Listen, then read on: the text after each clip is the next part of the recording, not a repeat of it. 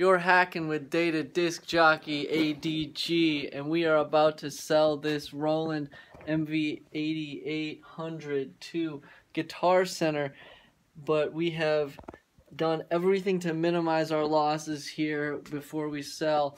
We have swapped out the RAM here as with the MV8000 that I have and we have swapped out the hard drive with this Toshiba um, 40 gig that um, was non-functioning in another machine but is functioning now here in this MV8800 we took out the solid state drive.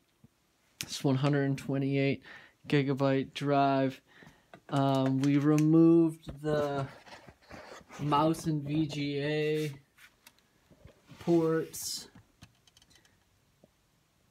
and we have um, got it looking really mint and got it all functioning and ready to go but as as I said we've trying to minimize our our bargain here and um,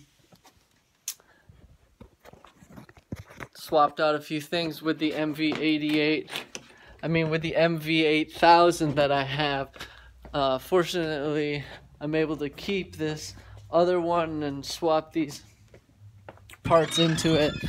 Um, as you can see here my MV8000 is uh, got the 5 512 RAM in it and uh, that one I'm keeping.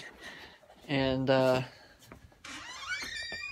you're hacking with ADG wish me luck here. My only question is how much will I get for this at Guitar Center? And will they recognize any of the swap outs that I've done in order to minimize my losses here?